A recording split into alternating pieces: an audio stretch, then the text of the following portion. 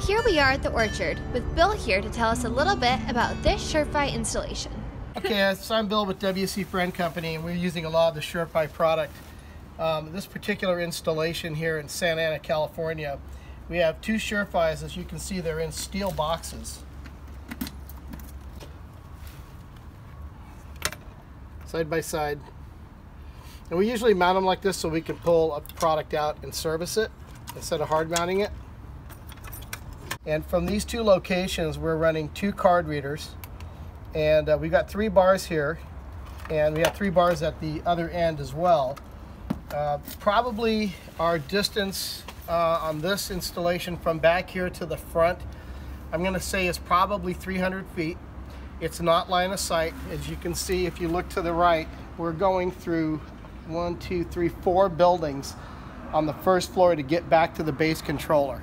So the, the three bars going through these buildings and through the steel boxes is pretty remarkable. We've been using the product for about a year.